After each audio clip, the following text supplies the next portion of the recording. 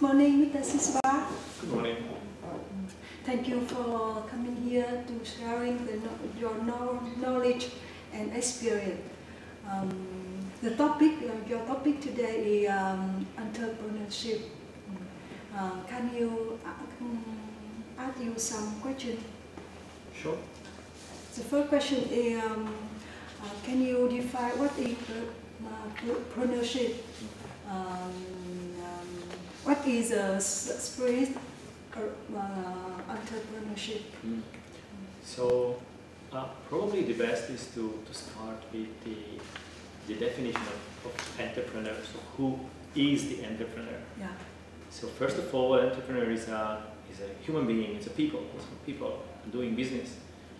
And they are a little bit like special because uh, they take a lot of risk to, to turn an idea to a real business. So they take the risk, they are leaders of the organization, and they do this for profit. So it's all important elements of entrepreneurship. It's someone who come up or pick up a good idea and organize different people, different resources to be able to make the idea to something real. Of course, it's very risky because there is no guarantee this will be successful.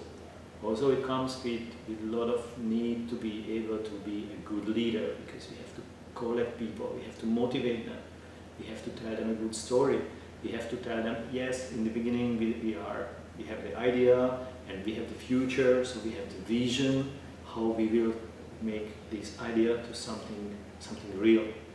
And it comes with risk because uh, it's very uncertain. If it's something new, then you have to convince a lot of people, clients, partners, investors. So it comes with a lot of risk, and the entrepreneur is, one, is the one who takes this risk. And also come with a lot of like stress sometimes, comes with a lot of difficulties. So uh, the entrepreneur should be a good, good problem solver. So the, the conclusion is, entrepreneur is, a, is an individual who collects the resources, turns the, the idea to something real. He or she is a leader, and it comes with a lot of lot of emotional roller coaster and a lot of risk. So this is more or less for, for the entrepreneurs. entrepreneurs do.